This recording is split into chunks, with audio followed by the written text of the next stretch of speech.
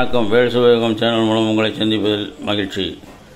இன்றைய தினம் ஆயிர வயசிய காசுக்கார செட்டியார்களின் பொங்கல் திருவிழாவை பற்றிய ஒரு சிறு தொகுப்பு. மேலத்தெரு கீழத்தெரு வடக்காணி முதிவால் குடியிருக்கும் மக்கள்.